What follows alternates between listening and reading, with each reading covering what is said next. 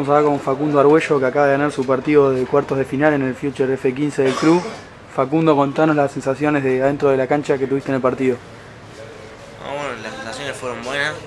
Al principio un poco molesto por el juego de- del rival, pero bastante bien, supe resolverlo rápido, así.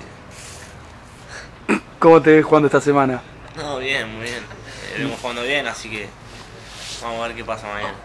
Bueno, te deseamos mucha suerte para lo que queda del torneo. eh. Dale, gracias.